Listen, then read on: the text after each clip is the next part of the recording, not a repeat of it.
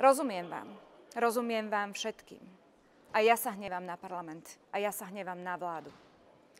Zobrali nám nádej, že zo Slovenska môže byť krajina, kde sa všetci bez rozdielu budeme cítiť doma.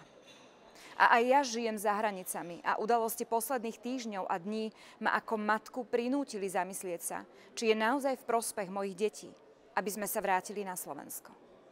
Lenže, keď všetci šikovní, schopní a slušní ľudia odídu, kto potom zmení Slovensko?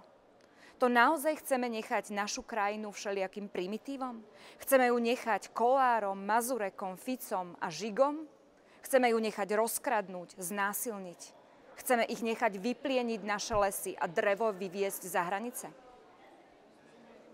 Nemôžeme tu nechať našich starnúcich rodičov bez toho, aby sa o nich mal kto postarať. Nemôžeme nechať naše obce a mesta vyľudnené. Nemôžeme tu predsa nechať našich príbuzných na pospas upadajúcim regiónom a hladovým dolinám. Nie.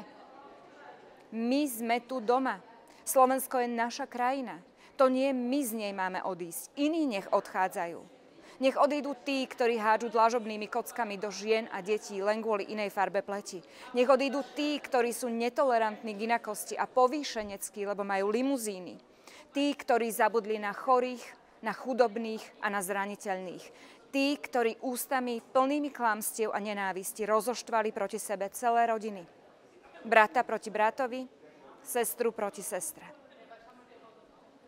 Slovensko je spomedzi EU27 krajina najviac postihnutá odlivom mozgov. Za hranice odišlo už 400 tisíc nás.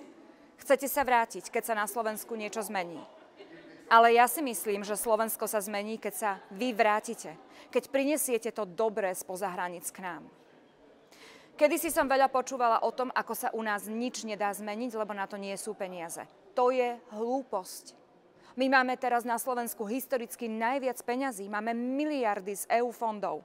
Teraz nie je na mieste strach z nedostatku financií, ale z toho, či ich vôbec dokážeme vyčerpať.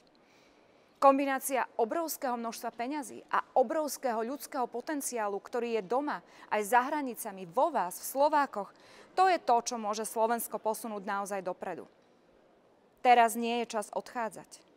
Teraz je čas vrátiť sa a zabrať je čas postaviť sa proti nenávisti, proti primitivizmu, vulgárnosti a politickej nenásytnosti. Zlo nás nikdy nesmie poraziť a vyhnať z domova.